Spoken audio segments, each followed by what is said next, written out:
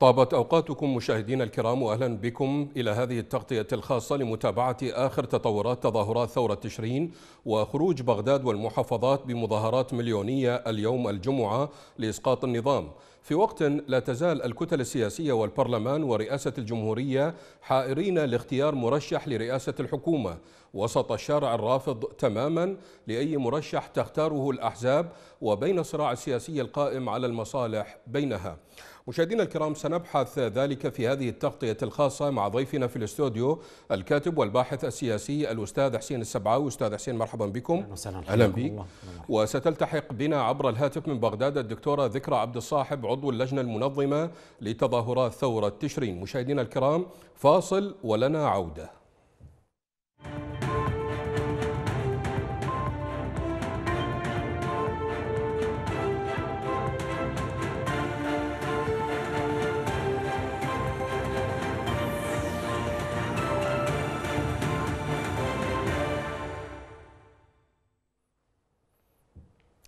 مشاهدينا الكرام مرحبا بكم من جديد في هذه التغطية الخاصة لمتابعة آخر تطورات تظاهرات ثورة تشرين وخروج بغداد وبقية المحافظات بمليونية الجمعة. وأيضا نكرر الترحاب بضيفنا في الاستوديو الأستاذ حسين السبعاوي أستاذ حسين آه، مرحبا بكم من جديد. المتظاهرون في بغداد وفي بقية المحافظات يعني يواصلون عمليات التظاهر والأعداد تزيد خاصة في يوم آه، الجمعة. كيف تتابع آه، عملية خروج متظاهرين حتى هذه اللحظة على الرغم من أن الحكومة ربما يكون يعني تكون آه، تراهن على عامل الوقت من أجل آه، ملل و يعني يعني ما يقال ب عامل الوقت تراهن عليه الحكومة. لا يعني هو عامل الوقت سقط. بالنسبة كورقة بيد الحكومة اليوم من واحد عشرة هذا إحنا دخلنا الشهر الثالث أنهينا تقريبا الشهر الثالث والمتظاهرون في ساحة التحرير وفي بقية المحافظات مصرين على مطالبهم. أيضا لم يتنازلوا على شرط واحد من شروط التظاهر. هذا ما يجب أن يعرفه الآخرين. أيضا التظاهرات هي لم تخرج على شخص حتى يسوق بأن المتظاهرين خرجوا على سيد عادل عبد المهدي.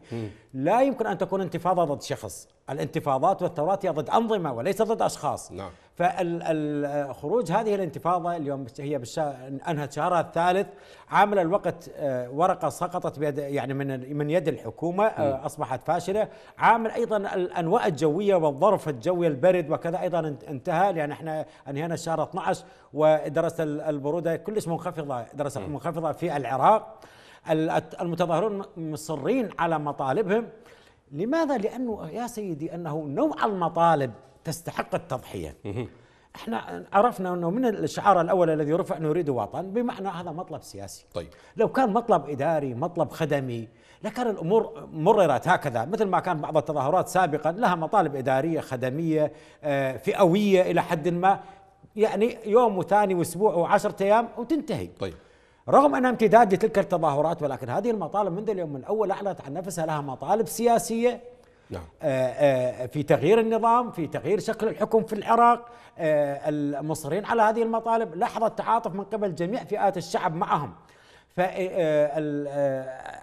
المطالب يجعل يعني يستحق التضحيات طيب. فلهذا السبب هو المتظاهرون المصريون على من أجل التضحيات ومن أجل طيب. هذه المطالب أه أرحب بضيفتنا من بغداد الدكتورة ذكرى عبد الصاحب عضو اللجنة المنظمة لتظاهرات ثورة تشرين مرحبا بك دكتورة مرحبا بكم أهلا وسهلا. شكرا لقناتكم المواظبة للحدث أهلا بك أه، دكتورة 80 يوم على التظاهرات اللي بدأت يوم 1 أه، تشرين الأول 2019 80 يوم والتظاهرات مستمرة. يا ريت تحدثينا عن أعداد المتظاهرين الذين توافدوا إلى ساحة التحرير هذا اليوم. أه، شكرا جزيلا. حقيقة التظاهرات ليست فقط مستمرة وإنما في تزايد مستمر حقيقة. يعني يعني رغم الإرهاب والقمع والتعدي وكل أصناف العنف التي آه، آه، يعني آه، يستخدموها أو الأساليب التي يستخدموها ضد المتظاهرين لكن حقيقة المتظاهرين باقون ويزدادون لأنه الدولة في حقيقة في تبجح وفي يعني وجه أسود تعامل المتظاهرين، حقيقة لدينا مثل يقول إنه إن لم تستحي فافعل ما شئت. الحكومة بهذا الوجه وللأسف نحن نذكر هذا المثل لكنه ينطبق على هذه شلة الحكومة الفاسدة التي تلعب بمقدرات البلد والشعب لإرضاء اسيادهم حقيقة. نعم فالجمهور ما شاء الله يوم بعد يوم يزداد لأنه حتى اللي في بيته في بيته لم يكن يطلع للتظاهرات بدا يطلع وبدا يشارك لأنه عرف واكتشف حقيقة هؤلاء الطغمة الفاسدة. دكتورة الحكومة المستقيلة حكومة عادل عبد المهدي يعني كما ذكرت قبل قليل إلى ضيفي في الاستوديو الأستاذ حسين السبعاوي تراهن على عامل الوقت تريد بأنه يصيب التململ بين صفوف المتظاهرين، هل ستنجح في ذلك؟ بالضبط هم يراوغون حقيقة مثل ما ذكرت لحضرتك هم يراوغون آه، في سبيل كسب الوقت وربما يقولون أنه ممكن أحد يتدخل وينقذهم ممكن فلوسهم تفيدهم أنه يشترون الذمم يشترون بقية الدول. الحقيقة هي هاي آه، صايرة يعني أنهم ما زالوا يشترون الذمم. يعني أي دولة تحاول أنه تتدخل في موضوع ما رأسا يسكتوها بفلوس. وللأسف يعني بقية الدول هي آه، تنجرف لهذا الموضوع. نعم. والفترة تعرف إحنا أجواءنا بالعراق بدأ البرد، البرد جدا قوي بالعراق مم. يعني مش سهل يعني صح إحنا ما عندنا ثلج لكنه البرد قاسي قارص والهواء آه، يعني شلون تقول يحد مثل السكين يقص العظم هواء جاف جاف آه، نعم. جدا بارد جونا نعم هواء جاف بالضبط نعم يعني بارد وجاف. نعم. نعم فالشباب يعني الحمد لله كنا راضين في أماكنهم في المخيمات وفي العمارات وموفرين لهم دفء يعني آه، بطانيات وأفرشة وملابس. يعني حتى ملابس يجيبون الخيم ينزلون. يعني آه، قبل كم يوم أنا عربانة آه، دخلوها قلت لهم شنو؟ قالوا هلو للشباب خلي ياخذون يجون يشيلون ملابس قمصان قماصل شو يريدون قبعات بناطير أي شيء. يجيبون يعني أكو ناس متبرعة لهذا الشعب. يعني إحنا شعب معطاء. الحمد لله والشكر. يعني إحنا خير العراق خير كثير. وناس العراق ناس أو لا يعني شلون إحنا تربية عشائر يعني نقول نعم. إنه هذا ابن عشيرة عنده شهامة عنده غيرة عنده عنده حب للآخر عنده فاتح بيته مضيف يعني. كلها مضايف يعني. كل كانت حتى ببغداد يعني اي شخص نشوفه بأي مكان نجيبه لبيتنا نساعده عنده نعم. أه، أستاذ حسين أكو وعي في هذه التظاهرات؟ يعني المؤشر كله يراقب مسألة الوعي الموجود عند المتظاهرين. لكن أقصد هنا يعني بالناصرية توافد المعتصمين إلى ساحة الحبوبي أه، في تظاهرات ثورة تشرين التي تطالب كما تفضلت أنت حضرت قبل قليل بإسقاط المنظومة السياسية وليس بإسقاط أشخاص. لكن إذا جينا إلى مسألة آه، موضوع كربلاء طلاب المدارس آه، يعلنون استمرارهم بالعصيان المدني. هناك أيضا عصيان مدني في بابل في القادسية في المثنى في البصرة. شلون تابعت مسألة العصيان المدني المربوطة بالمتظاهرين الطلاب؟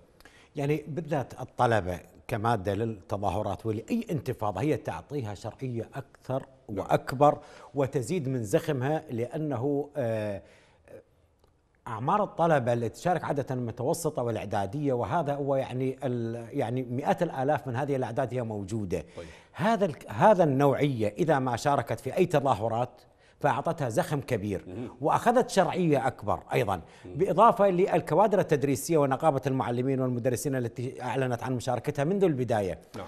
هذا العصيان وأصبح شل يعني شل وزارة التربية. اليوم أنا متابع بيانات وزارة التربية. مرة يأجلون انتخابات الامتحانات مرة يلغوها. محتارين في هذا الأمر كيف يعالجوه آه، المؤسسات الأخرى هكذا.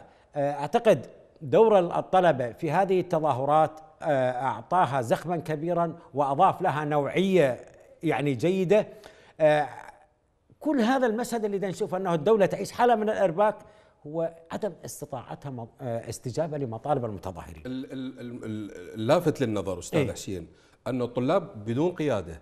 بالتأكيد. يعني هم الذين يقودون أنفسهم. بالتأكيد لأنه هذه مظاهرات شبابية آه، وهم على وعي عالي يعني يعني هم طالبوا على وعي عالي. اليوم القضية العراقية كل ما تكون واضحة كل ما أنت ما تحتاج إلى فلسفة للمتظاهر أنه أو يتعبك في آه، أن توضح له المشكلة العراقية، اليوم المشكلة العراقية واضحة جدا ومطالب المتظاهرين أيضا واضحة، أنت لاحظ بساحة التظاهر. شيوخ نساء كبار شباب من كل الفئات من كل الأعمار والكل فاهم القصة. مو ماكو واحد جاي مضلل به أو مغرر به ما يفهم شنو القصة. صحيح. هناك ثلاث مطالب ذكرناها سابقا. هيمنه رفض الهيمنة الإيرانية مم. إدارة الدولة على أسس طائفية الفساد المستشري. صحيح. هاي الثلاثة مثل ما يقول السهل الممتنع لدى الحكومة واضحة دي اياها لا يوجد أي شخص ما يعرفها. فقيادة التظاهرات عندما أعلنت عن هذه ال- ال- ال- المطالب حتى تكون أكبر زخم للتظاهرات حتى ولا يعترض أحد عليها، أنا لاحظ حتى بعض الحكومة يعني انحرجت وقالت نحن نؤيد المتظاهرين. طيب أنت تأيد أنه ترفض هيمنة إيران، أنت شلون تأيد؟ تقول أنا أيده صحيح. وهي إيران مهيمنة وأنت أصلا معين في هذا المكان من قبل إيران أو بمساعدة إيران، طيب أنت تقول نأيده وأنت تتكلم عن عن عن عملية سياسية طائفية تدير المشهد العراقي، هو يقول نأيده وجميع دير ما يدوره بما فيهم هو هم غر غر يعني غرقوا في الفساد ولا يعرفون طعم القرش الحلال. يعني انت شلون تأيده؟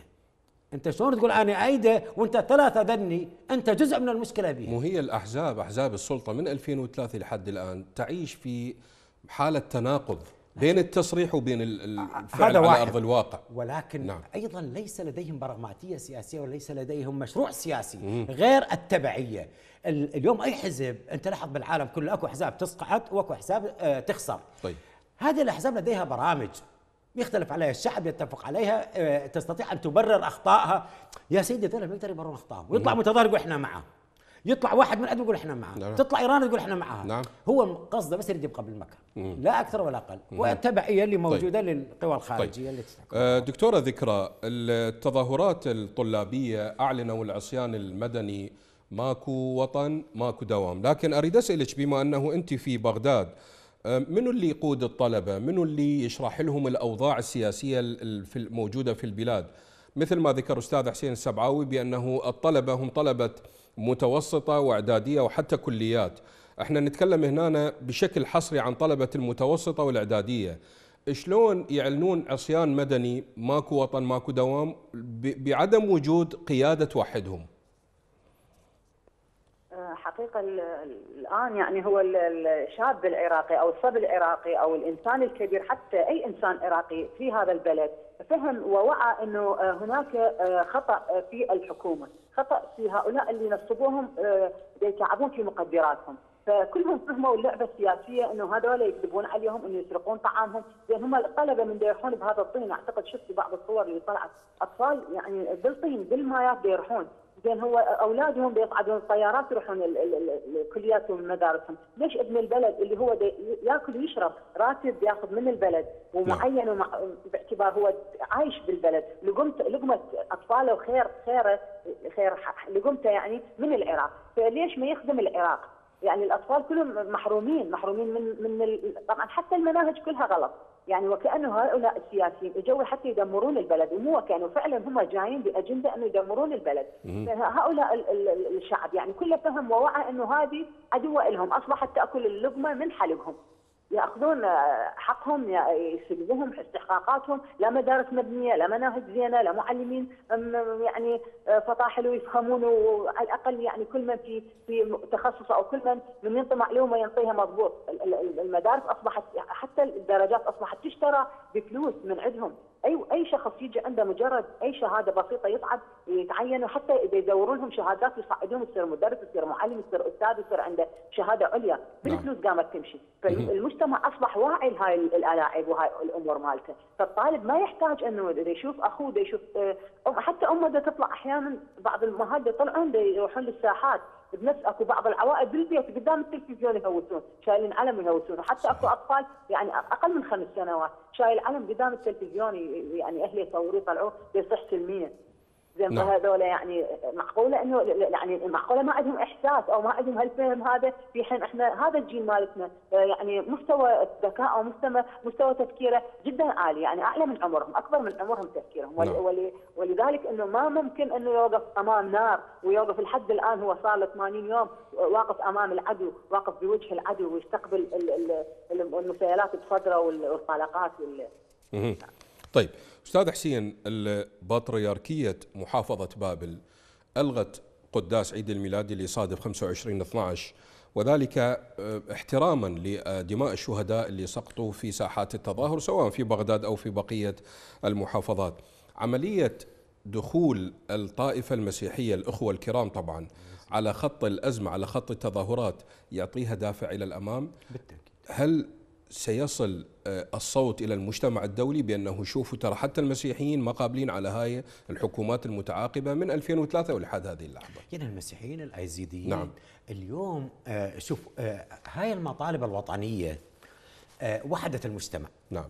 عندما توحد المجتمع في مطالب هي تمس الجميع وللجميع أنا ذاك الجميع سيتفاعل معها هؤلاء هم يعني أصلاء في هذا البلد كانوا مسيحيين أيزيديين سنة شيعة أكراد تركمان هذا البلد العراق البلد المتنوع.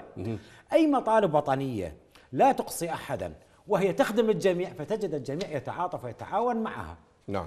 حتى لو كانت الحكومة تحمل مشروعا وطنيا ستجد أيضا الشعب يلتف حولها ولكن لأن حملت حملت مشروعا طائفيا ودعما خارجيا بعيدا عن الدعم الداخلي والوطني تجد الشعب انفض عنها. صحيح. فلهذا السبب أنه عندما تكون المطالب وطنية فلا يختلف عنها أحد لو كانت المطالب فئوية فالآخرين يقولوا والله المطالب للفلانيين وقسم من عندهم شو يقول؟ قسم من عندهم يقول لك عملية انتهاء الطائفية هي فقط في ساحة التحرير. يعني عندما تيجي على مثلا على الطائفيين من الأحزاب السلطة الفاسدة يقولون الطائفية لا موجودة السني سني والشيعي وشيعي لكنه فقط هي في ساحة التحرير انتهت لا شوف. هذا سؤال مهم نعم. اولا آه، علينا أن ندرك هذه الانتخابات اللي مضت 20% ش- شارك بها ومزورة طيب. 80% هؤلاء الرافضين للطائفة صحيح. عندما اي بلد تكون بثم- نسبه 80% اذا من حقك تتكلم بالإجماع هاي وحدة صحيح. ثانيا هذه الأحزاب السياسية لو باي انتخابات حرة نزيهة ما يحصل على أي مقعد في البرلمان لأنه هو اعتمدوا على التزوير وعلى السلاح في إيجاد ال- التظاهرات طيب. هل يستطيعون أن يجرون استفتاء على مثل هذا هذا الأمر؟ هل كان في العراق آه القضية الطائفية ويقتل اليوم مئات الآلاف قتل من السنة والشيعة و هل مر عبر تاريخ العراق مثل هذا اللي اللي دا يحصل الآن؟ لا طبعا. زين هل العراق لا يوجد فيه سنة والشيعة؟ لا موجود به سنه والشيعة وموجود به مسيحيين وموجود بأزيديين وموجود بآثوريين وموجود بتركمان وأكراد يا سيدي انهائها ليس إنهاء المكون وإنما إنهاء الصراع بها وانهاء تمزيق المجتمع من خلالها. بمعنى أن لا يكون لها دورا سياسيا لا يكون العراق أن يحكم على أساس عرقي أو طائفي لأنه بلد متنوع. نعم. الب- البلد المتنوع لابد أن يحكم على أساس وطني على أساس مشروع وطني. أما مو أنا جاي احكم واقول والله ألغي الشيعة. وهذا الآخر جاي يحكم يقول ألغي السنة والآخر جاي يحكم يقول ألغي الأكراد. المكونات والمذاهب هي موجودة منذ تأسيس ال- بالنسبة للمذاهب الإسلامية منذ تأسيس الإسلام. طيب. وما قبلها منذ تأسيس الدولة العراقية فهي قديمة ولن تزول ولكنها ولها جزء ضمن يعني لها حق في هذا الوطن عموما. لكن لا يمكن للبلد أن يحكم على أسس طائفية وإلغاء الآخر. هذا ما اعتمدته هذه الأحزاب الطائفية ولاحظ اليوم عملية التهجير عملية الإخفاء القسري المقابر الجماعية اللي بثت قبل كم يوم. بالضبط. هذه كلها لإلغاء الآخر. يا سيدي لن تستطيع أن تلغوا أحد لن تستطيع أن تلغوا مكونات أصيلة في هذا البلد مهما فعلتم ومهما دعمكم الخارج. أبدا طيب. وخاصة إيران. طيب. آه، دكتورة ذكرى اليزيديين ال- الإخوة الكرام توافدوا إلى ساحة التحرير وذلك تلبية للتظاهرات المليونية المطالبة بإسقاط النظام كما معروف للجميع أيضا اليزيديون أكدوا أن إلغاء الاحتفالات بأعياد رأس السنة وذلك إكراما لدماء الشهداء الذين سقطوا في ساحات التظاهر على يد القوات الحكومية والميليشيات عملية آه، دعم التظاهرات بالطائفة اليزيدية المهمة جدا في العراق ومع احترامنا إلى باقي الطوائف ينطيكم دافع أكثر بمسألة استمرار التظاهرات دكتورة؟ نعم بالتأكيد. أولا نحن باسم اللجنة المنظمة للتظاهرات نشكر آه، أخواننا كل من كل الطوائف وكل العالم الذي تعاطف معنا في قضيتنا هذه. وألغى المراسم احتفالات رأس السنة.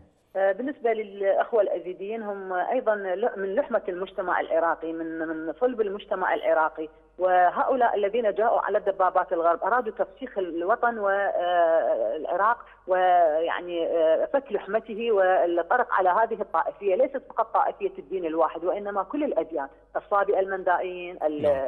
الأزيديين المسيح يعني بحيث ما خلوا يعني آه، عندنا يعني فئات جدا قليلة أصبحت الآن وكلهم مهجرين بالخارج عايشين صحيح يعني صحيح. لما أنا أحكي أقول آه، عندي جروب من أصدقائنا المنظمين يقول لك اليوم ما أعرف موضوع حكيت ذول اللي جونا من الخارج فكل شيء انغثوا انه تعرف أنا قلت لحضرتك إحنا عندنا مجموعة ناس من الخارج ومن الداخل ما كلهم وطنيين كلهم يعتبرون متظاهرين. وبنفس الوقت الخارج أيضا يطلعون تظاهرات أمام السفارات وبالاماكن المهمة بالخارج بالدول الأوروبية وكل الدول. فضاجوا إنه ليش تقولون إنه داخل وخارج؟ إحنا ما نقبل إحنا نزعل لأنه إحنا من لبه البلد. إحنا عراقيين وأيضا ندافع معاكم فالمهم اعتذرنا لهم قلنا إحنا مو هذا قصدنا إحنا بدنا نقول دول اللي اجوا على دبابات الغرب اللي هم فسخوا البلد اللي هم يردون آه، هم ديول آه، اسيادهم يريدون أن ينفذون أجندات اسيادهم في البلد. ففسخوا البلد طردوا هجروا المسيح هجروا الأزيدية دمروا الأزيدية طلعوا عليهم داعش اغتصبوا نسائهم. نعم. يعني ما ما أعرف شنو سووا من هال يعني شو يقولوا لهم الأسياد؟ يجون ينفذون بالعراق. يعني اتفه أنواع الظلم والألم يعني سببوه للبلد. نعم. سرقوا كثير قتلوا كثير مقابر جماعية. نعم. أه، أستاذ حسين أه، خطوة المرجعية لهذا اليوم يعني كانت خطبة وإن جاءت متأخرة لكن بها اعتراف بأنه أه، أكدت على لسان ممثلها عبد المهدي الكربلائي. تقول أقرب الطرق وأسلمها للخروج من الأزمة الراهنة هو الرجوع إلى الشعب. الشعب تقصد به أعتقد الشعب المنتفض والشعب العراقي بشكل عام هو منتفض. بإجراء انتخابات مبكرة تشكيل مفوضية مستقلة لإجرائها وضع آلية مراقب مراقبة فاعلة تسمح باستعادة الثقة بالعملية الانتخابية آه، وأيضا آه، لكن المرجعية ما زالت تحظى بانتقاد من قبل آه، الناشطين شلون تابعت اليوم خطبة المرجعية؟ أنا بالنسبة لي أخي بالشأن السياسي أتابع ما تقوله وما يقوله السياسي في القضايا الدينية أتابع ما يقوله العلماء طيب. عندما يقول لي الصيام فلان يوم والافطار والحج والاخلاق والصلاة والى آخره. اليوم النظام الحكم في العراق هو نظام برلماني. طيب. لو ولا يوجد حتى بالدستور العراقي أنه قالت المرجعية وتكلمت المرجعية والمرجعية أيدت المرجعية رفضت اليوم العراق بعدة مرجعيات كما تكلمنا سابقا العراق بعدة مذاهب عدة مكونات عدة طوائف طيب من غير الديانة كيف كيف يلتزم بقرارات المرجعية بغض النظر مو هي بعد خطبة المرجعية عادل عبد المهدي استقال يا سيدي أنا بالنسبة لعادل عبد المهدي قد يجوز الرجل يعني هو تلميذ عند المرجعية. طيب. لكن هل كل العراقيين هم ملزمين أن يكونوا جزء من مذهب المرجعية ودين المرجعية؟ واليوم العراق متعدد المكونات متعدد المذاهب لا يمكن أن تحكموا مرجعية. وإضافة أنه حكم برلماني. أنا لم أجد في الدستور العراقي أي دور سياسي لرجال الدين سوى عمليه الإصلاح والأخلاق وإلى آخره. إذا كانت المرجعية التي تحدد هي تسقط الحكومة وهي تحدد برنامج السياسي وهي تعدل الدستور وهي مسؤول القوات الأمنية، اذا اذا نحن في نظام ديني ثيوقراطي وللأسف أنه عندما تفشل الأنظمة في دول تصدر لنا يعني اليوم هذا النوع من الأنظمة فشل في إيران والشعب الإيراني ثائر على مثل هذا النوع من الأنظمة، هل معقول إحنا يصدر لنا؟ عزيزي أنه في أي دولة مدنية، في أي دولة برلمانية، السلطة السياسية هي المسؤولة عن المؤسسة الدينية طيب. والمؤسسة الأمنية م. والمؤسسة الإعلامية وجميع مؤسسات الدولة تخضع لسلطة سياسية واحدة. م. إذا كانت السلطة الدينية هي المسؤولة وهي توجه الجميع م. فخلاص يا سيدي أنا مو من هذا الآخر المسيحي يقول أنا مو أنا بالنسبة لي مو مسلم. صحيح صح ولا يزيد يقول أنا ما لي علاقة بذولي. بالضبط. طيب هل راح نكون إحنا دول طوائف؟ أنا بغض النظر كلامها صحيح كلامها غلط أيد ما أيد هي ليست يعني هي يعني من مهمتها تعطي بعض النصائح. أه تعلم الناس أخلاقها وتعلم الناس أمور دينها. أما أنه هي تقيل حكومة وتدخل حكومة وتحدد انتخابات وترسم مسار العملية السياسية في العراق حقيقة نحن في ظلام. إحنا في ظلام لأنه راح يتحول إلى ملوك طوائف وهذا يتمزق الشعب العراقي طيب. الدولة العراقية. دكتورة ذكرى يعني انطرحت عدة أسماء لتولي رئاسة الحكومة من ضمنهم قالوا القاضي رائد جوحي. البعض محمد الشيع السوداني الآن خفت على محمد الشيع السوداني. الآن الحديث يدور حول قصي السهيل. آه، أيضا الحديث يدور على عبد الحسين عبطان. آه، القسم آه، طرحه جعفر الموسوي اللي يتولى رئاسة الوزراء. وطبعا محمد توفيق علاوي أيضا اسمه مطروح حاليا. أنتم إلمن ترشحون. أنتم إلمن يعني إلمن إذا تم الاتفاق على هذه الأسماء أنتم مع من كمتظاهرين في ساحات التظاهر؟ أعتقد يعني أفكار ساحات التظاهر كلها موحدة وأعتقد فهمها الرأي العام العالمي كله. يعني ليس فقط بالساحات وإنما كل العالم فهموا إنه المتظاهرين ليسوا مع تغيير رئيس وزراء. يروح رئيس وزراء يجي رئيس وزراء إحنا ما لنا علاقة، إحنا رايدين تغيير النظام ككل، رايدين رايدين تغيير دستور، رايدين تغيير لجنة انتخابات. مفوضية انتخابات. رايدين آه، انه يتغير جذريا كل الحكومة لأنه ما بها زاوية ما بها فساد. كل ما فيها هذه الحكومة برمتها تشريعية وتنفيذية كلها برمتها كلها سيئة كلها تريد الفساد وتريد تفشيش البلد. إحنا يعني ما يهمنا خلوا فلان أو علان خلوا كلها يعني كم واحد صاروا 10 أكثر ما أعرف كم واحد غير اللي هم 400 وما أعرف إيش قد مقدمين يمهم نعم. ليش ما يختارون النزيه؟ ليش يختارون السيء دائما؟ ليش يختارون اللي عنده سوابق وعنده تاريخ أسود؟ ليش؟ نعم يعني آه، هاي مقصودة الشغلة مقصودة إذا يردون إنه يماطلون بالوقت يردون أنه يغيظون المجتمع أكثر أنتم توافقون على هاي الاسماء أنتم مدى موافقتكم على هاي الأسماء توافقون؟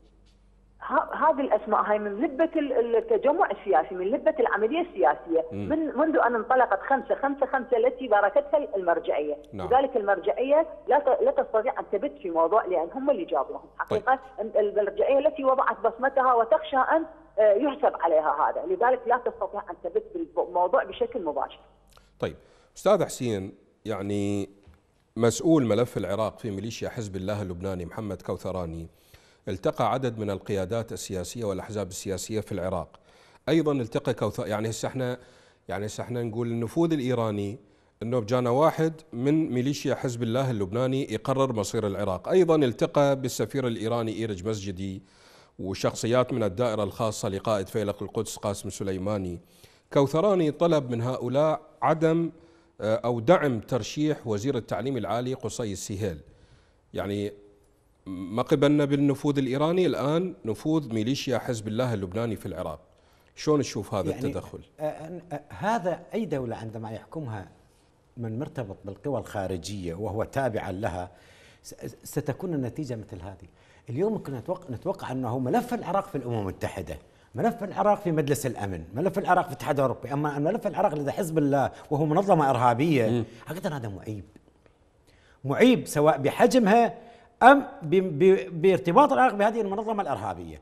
لهذا نقول أنه النظم الثيوقراطية والدينية يجب أن تتجنب السياسة والحكم. لأنها تهين الدولة تهين البلد من أجل الولاء الديني والمذهبي والعقدي جعل العراق ملفا تحت عند لدى حزب الله. هذا هو نتيجة الحكم الدينية الطائفية الثيوقراطية. لأنها لا تبالي ما تميز بين الدولة والأشخاص بل العكس أحيانا ولاءها للشخص أكثر من ولاءها للدوله نفسها لأن باعتبار هذا ولاء ديني. اليوم الولاء لخامنئي ولاء دين ما يقدر يخالف. طيب. طاعة لله يعتبروها. فاذا اليوم عندما يكون ملف العراقي بيت كوثراني وملف لدى حزب الله هذا معيب ولكن ما ما كان ليكون. لو كانت هناك حكومة وطنية لديها مشروع وطني ما تسمح لهؤلاء. أغلب الدول أمثال يعني لبنان وغيرها هي تعيش على صدقات من العراق وعلى العراق يعني هو يتحكم فيها كان اقتصاديا يستطيع. اليوم العراق ويقول لك يقول لك يعني وجود هذه الطبقة السياسية هو تضمن إن إبرام عقود لشركات تابعة للحزب حزب الله اللبناني. اي طبعا لأنه الحزب أصلا تجارته مخدرات مافيا قتل مواطنين. آه هذا تمويل الحزب لو تجي تقرأ تاريخه نعم. في أمريكا الجنوبية المكسيك كولومبيا مع كلها جرائم حزب الله اللي هي في تجارة المخدرات.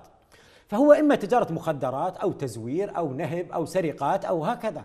فهذا الحزب هذه المنظمة الإرهابية هل يعقل لهذا البلد الحضاري اللي عمره 7000 سنة أن يكون ملفا لدى حزب الله. وهو محمد كوثراني شلون دخل؟ غير دخل عن طريق الحدود غير بموافقة الحكومة؟ أي أكيد وسوى له فيزا طبعا. يا سيدي هؤلاء لا يعترفون حتى بالدولة. وللأسف إذا كوثراني لا يعترف بالدولة أنا أعتقد حتى العراقيين اللي قائمين على الحكم لا يعترفون قضيه الدولة، المهم الولاء للمذهب والولاء للطائفة. مثل ما يحصل الآن في لبنان؟ بالضبط مم. بالضبط بالضبط. مم. وأنت لاحظ قضية لبنان العراق. المتظاهرون جميعا صحيح. ضد المشروع مم. الإيراني. الإيراني صح. لكن ما يميز تظاهرات العراق عن لبنان أنه في لبنان اللي خرج هو أبناء شمال لبنان وبيروت. مم. لم يخرج جماعة حزب الله. جنوب ولهذا سبب العراقي أصيل. مم. يعني الدولة الشعب العراقي شعب أصيل يعني مم. آه، أصيل بحضارته بتاريخه. اللي خرج في العراق الوسط والجنوب. مم. وهذا لازم نميز. هنا تعطي نوعية للتظاهر العراقي عن التظاهرات في لبنان. مع العلم هم اثنينهم أهدافهم واحدة ورفضا للمشروع الإيراني. طيب. آه، دكتورة ذكرى ما دام نتحدث عن التظاهرات أيضا في لبنان يا ريت تحدثينا عن آه، شنو الفرق ما بين تظاهراتكم في بغداد وتظاهرات الإخوة في آه، لبنان خاصة كما تفضل الأستاذ حسين السبعاوي بأنه ال- الدولة أو الشعبيا يرفضون التدخل الإيراني في شؤون العراق. يعني على سبيل المثال كوثراني هو مسؤول ملف العراق في ميليشيا حزب الله اللبناني هو اللي يلتقي بشخصيات عراقية. طبعا مثل ما ذكرنا قبل قليل هو دخل العراق عن طريق فيزا أو ربما بدون فيزا ربما من المدخل الخاص. ودخل واجتمع بقيادات من الأحزاب السلطة الحاكمة في العراق وأيضا التقى بالحلقة الخاصة بقائد فيلق القدس الإيراني قاسم سليماني وقال لهم لازم تدعمون قصي السهيل. شنو الفرق بين تظاهرات بغداد وتظاهرات بيروت؟ خاصة أنه بيروت يعني المتظاهرين في بيروت يرفعون شعار بأنه من بغداد إلى بيروت التظاهرات لا تموت. تفضلي دكتورة. قطع صوتك. نعم. عفوا بدي أقطع صوتك. دكتورة سمعتي السؤال؟ نعم فهمت تقريبا هو نعم. قطع.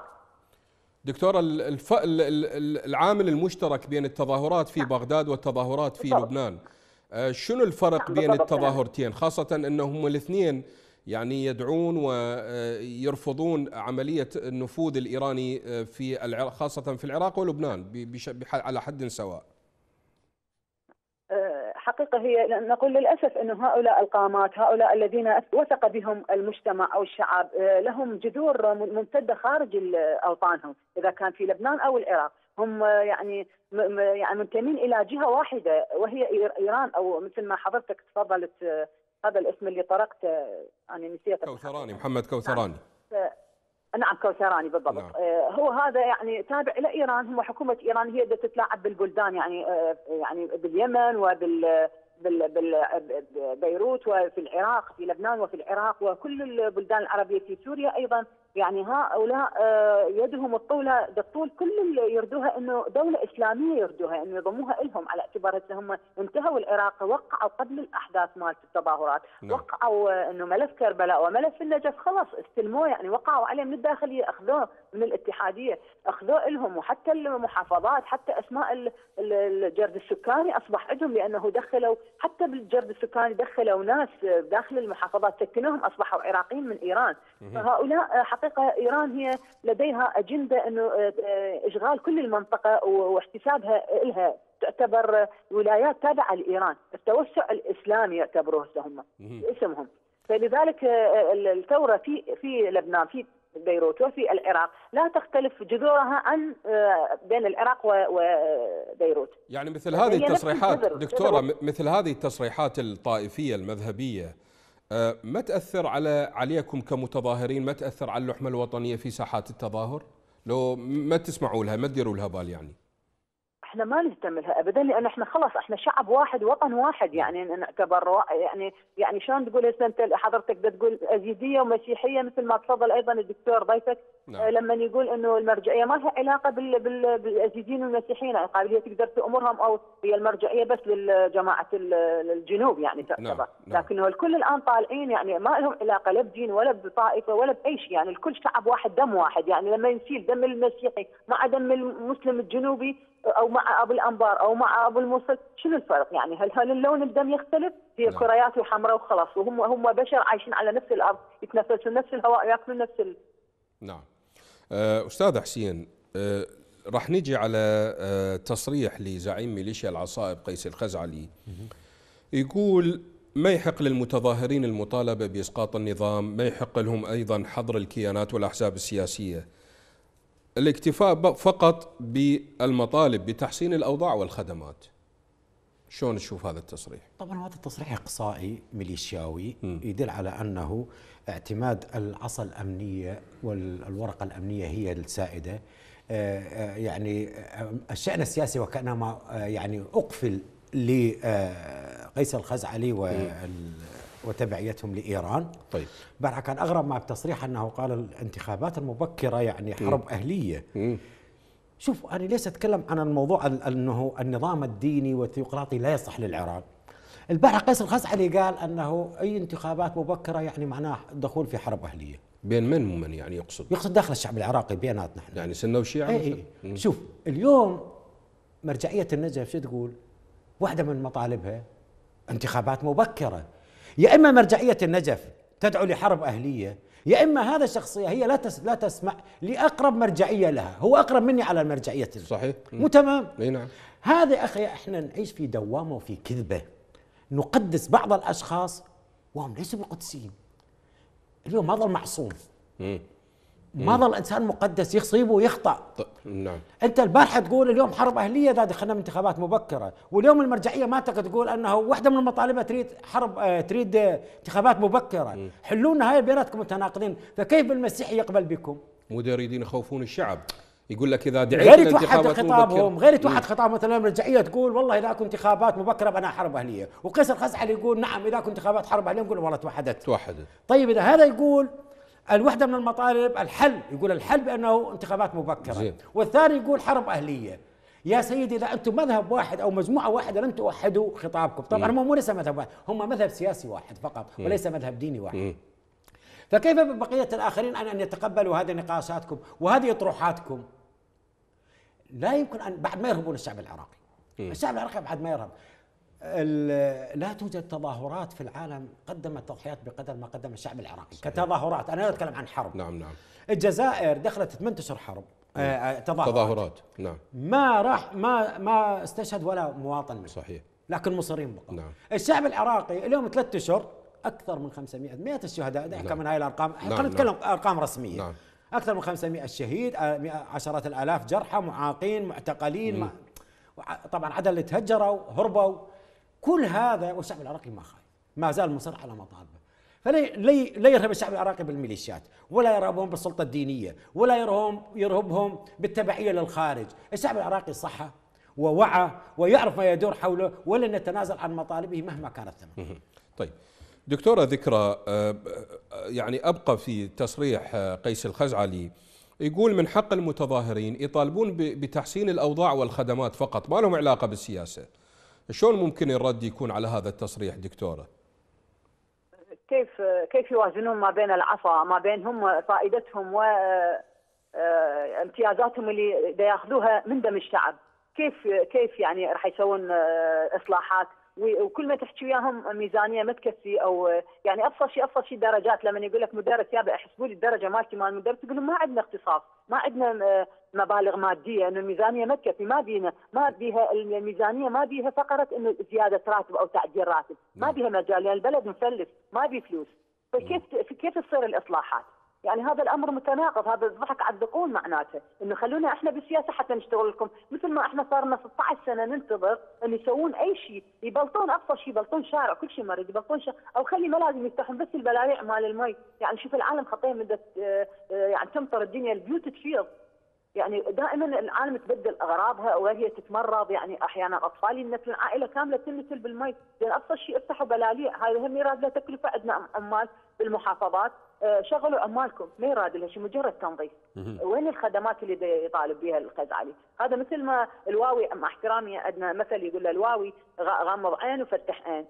حتى يقشمر بالعالم. هذول واوية بالضبط. لأنه فتح عين ومقش- مغمض عين حتى يقول لهم اني يعني ما أدري بالشغلة شنو.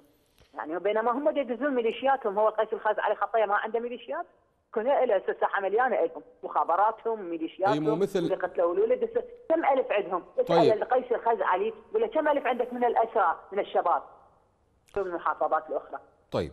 مو مثل ما ذكر أستاذ حسين السبعاوي حتى ما غادر هاي النقطة. يقول آه، نقلا عن الاستاذ حسين يقول عملية الانتخابات المبكرة قيس الخزعلي يقول يقول إذا انتخابات مبكرة معناتها حرب أهلية.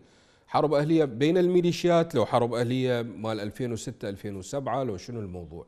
يعني شلون فهمتي أنا هذا التصريح؟ كمواطنة بال... امم أنا كمواطنة بالمجتمع كمواطنة أستغرب عندما المرجعيه تصيح حرب أهلية والأحزاب يصيحون حرب أهلية وإحنا الشعب متفاهمين بيناتنا. سني وشيعي وكردي يعني كلنا متفاهمين. شو هي الحرب الأهلية؟ ما أفهم. الظاهر هم بيناتهم أكو بيناتهم لأنه ضربوا جماعة آه، رئيس الوزراء من كان عادل عبد المهدي آه، ضرب ميليشيا آه، ضرب الحرس مال عبادي دخلوا على بيت العبادي واحتزوا العبادي وعبد المهدي كان محتجز. فأكو بيناتهم مظاهر مشاكل. فشي يقولون يقول هي طائفة دي يصير بها اقتتال. هم يخافون يكون الطائفه يصير بها اقتتال اقتتال. بسبب منه بسبب ميليشياتهم. لأنه قيس الأخذ علي يحكي شكل ومقتدى الصدر يحكي شكل والعامر يحكي شكل. فهذول بيناتهم راح تصير بيناتهم آه، مذبحة.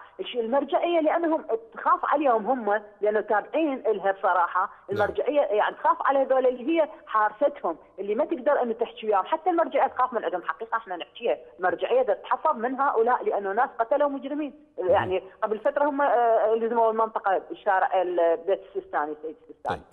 أستاذ حسين آه، نائب وزير الخارجية الأمريكي ديفيد هيل يقول واشنطن ستستمر في فرض العقوبات على مسؤولين عراقيين متورطين بالفساد ومتورطين باستخدام العنف ضد المتظاهرين. شنو اللي راح يستفاد المتظاهرين من هاي العقوبات؟ إحنا ندور فائدة البلد. لا شوف آه، يعني إحنا فئه البلد وفئه المتظاهرين ووجود نائب آه، وزير الخارجية الأمريكي. اليوم الأمريكان لهم نفوذ كبير في العراق. طيب وهم مسؤولين على الخطأ الذي أوصل العراق إلى ما وصل إليه وخصوصا عندما آه، جعلوا العراق يعني أو أعطوا الضوء الأخضر للهيمنة الإيرانية على العراق. طيب أعتقد انه وجود نائب وزير الخارجية وتصريحات البارحة في إصدار عقوبات لاحظ أنه أي مسؤول عندما يضيف يستضيف عند بلد آخر.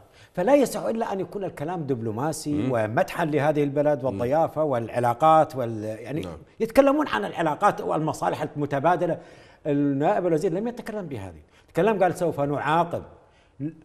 هذه جرأة. هذا تحول في السياسة الأمريكية تجاه الحكومة العراقية. ماكو واحد ضيف في دولة أخرى ويلتقي مع رئيس وزراء المستقيل ويقول أنه راح نح- نحاسب ونعاقب. طيب هذا معناه معناه أنه أولا تحول ثانيا عدم احترام للحكومة اللي موجودة.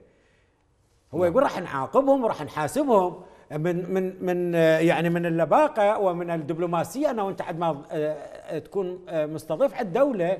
تتكلم عن مصالح مشتركة، تتكلم عن محاسن هذه الدولة اللي أنت موجود بها، وإذا عندك تصريح آخر ممكن عندما تصل دولتك تصرح به، أو ما عندما تصل مؤسسة دولية. يعني ممكن. يقولون بالأخبار ذات الاهتمام المشترك ذات الاهتمام المستقبل إيه، أما إيه. أنت داخل دولتي وتقول لي راح أحاسب مسؤولين عندك فاسدين وقتله. اذا هذا تحول. ولكن على الولايات المتحدة إحنا نقول أنه يعني آه هي مسؤولة على كل ما جرى فعليها أن تصلح ما هو هنا إيه. السؤال المطروح. إيه. يعني هم منو قدم العراق على طبق من ذهب؟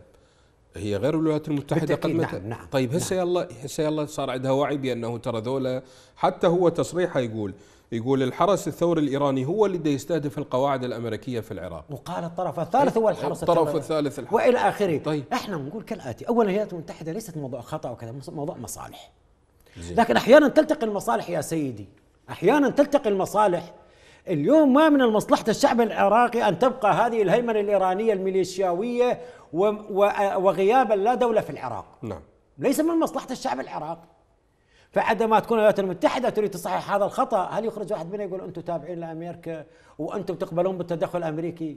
هو أنت جيت عند باب الأمريكية وما حد قال لك. صح. وأنت الآن أنت الآن بالدولة كسلطة كسلطة فرق بين السلطة والشعب. أنت كسلطة ولاءك للخارج وتبعيتك للخارج. كثران يدير ملف العراق.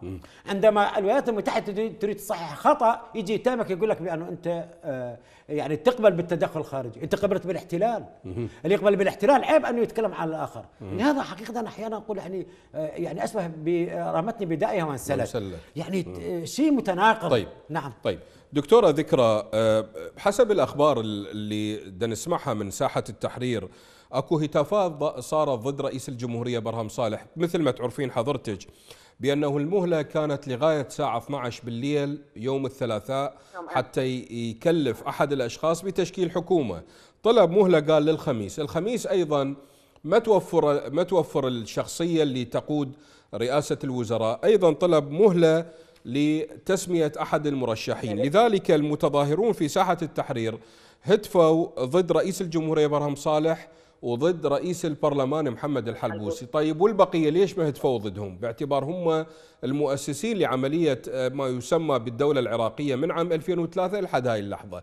أنا سؤالي يعني ليش اختصوا المتظاهرين بهتافات ضد رئيس الجمهورية وضد رئيس البرلمان؟ شنو السبب برأيكم؟ آه، نعم لأنه حقيقة هم رئيس الجمهوريه رئيس البرلمان هم اللي الحكومة يعني هم المشرعين هم اللي لازمين زمام أمور ال... نعم. نعم. طيب يطلع. أه تعتقدين هم, بأ... هم رئيس الدولة. طيب تعتقدين بأنه أه أه يعني ربما يكون أمام رئيس الجمهورية مثلا مثل ما صار في لبنان عندما قدم استقالته رفيق الحريري اجى رئيس الدولة ميشيل عون رئيس الجمهورية أيضا كلف آه، سعد الحريري بتشكيل حكومة. تعتقدين يعني يجي على بالكم بأنه مثلا برهم صالح يعيد تكليف عادل عبد المهدي من جديد لتشكيل حكومة؟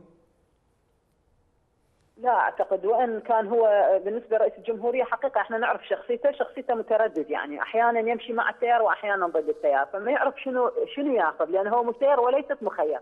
نعم. يعني كلهم مخي... مسيرين وليست مخيرين. والدليل إنه هؤلاء ال- ال- الخارجيين اللي هم تابعين لهم يحاولون يفرضون عليهم شخصيات. ورب ما نعرف إحنا إيش راح يفرضون ذولا عليهم، لكنه إحنا العملية السياسية برمتها إحنا رافضيها، الآن آه، من لما تخلصنا من رئيس الوزراء الآن جاء الدور على رئيس الحكومة وأيضا الحلبوسي رئيس البرلمان، فهؤلاء هم لازمين ماسكين الدولة الحكومة، بس هذول يطلعون خلاص انتهت الدولة، انتهت الحكومة. نعم. فراح نشكل إحنا المتظاهرين راح إحنا نبي نطلع ناسنا آه، لأنه هذول بس هم باقين باقيه الميليشيات معاهم لما يروح هذول راح نعم. ترجع إلى المنفذ على أنا أشكرك دكتورة ذكرى عبد الصاحب عضو اللجنة المنظمة لتظاهرات ثورة تشرين. أشكر انضمامك إلينا. أه، أستاذ حسين السبعاوي إذا ماكو شخصية مثلا صار الاختلاف عليها أه، أه، شو تقول إذا برهم صالح قال بأنه ماكو أي شخصية؟ البرلمان مدى يحدد حتى هذه اللحظة من هي الكتلة الأكبر لتسمية مرشحة لرئاسة الوزراء. تعتقد يعيدون إنتاج عادل عبد المهدي ب ب ولكن بأسلوب أكثر تنظيما مثلا؟ لا هذا مستبعد. هو ماكو شخصية. لكن علينا أن ندرك أنه في العراق بعد 2003 شخصيه رئيس الوزراء تحسم من الخارج. وليس من آه، سيد برهم صالح ولا الحلبوسي ولا غيره. عامل الخارجي عامل مهم في تسمية رئيس وزراء وتسمية حتى رئيس الجمهورية. موافقة أمريكا؟ بالتأكيد. ووجود نائب وزير الخارجية. إذا أمريكا زين دكتور إيه. أه، أستاذ حسين. إذا وافقت أمريكا على شخصية معينة ورفضت إيران منو الكلمة الفصل؟ في السابق كانت ال- ال- الكلمة الفصل لإيران. أعتقد في المرحلة القادمة أعتقد أنه الولايات المتحدة غيرت من سياستها. طيب. تريد أن تقصي إيران أو تخفف تضعف نفوذ إيران ولكن لا تنهيها. عامل الخارجي مهم جدا في حسم آه، رئيس الوزراء والقوى السياسية هي خائفة وتدرك أن وجود نائب نائب وزير الخارجية الآن هو اللي حسم مو- موضوع رئاسة الوزراء. الاسم. الاسم. وهي مرحلة انتقالية. زين. هي لمرحلة انتقالية وليست طويلة. ولكن آه، برهم صالح لا يستطيع أن يحسم هذا الأمر والمدة الدستورية انتهت وكما يقال أنه إحنا الآن في فراغ دستوري. طيب. آه، طلعوا على فتوى جديدة. قالوا المدة الدستورية لا تحسم منها العطل وهي لأول مرة تحدث نعم، نعم. بالعالم. قالوا يوم الأحد. طبعا من يجي يوم الأحد يقول ما قلنا الأحد الأح- غير أحد شوف غير يا أحد، أحد أي نعم. مم. قصتهم. لا يستطيعون يحسمون الموضوع والموضوع العامل الداخلي ولكن يحسم بالعامل الخارجي في تسمية رئيس وزراء. طيب شلون نشوف التظاهرات؟ آه، منا لما يصير يعني الركون إلى تسمية رئيس الوزراء. لا المتظاهرات يجب حتى لو ي- يختار رئيس وزراء حتى لو كان منهم حتى لو كان من المتظاهرين يختار نعم. يجب أن لا ينسحبوا.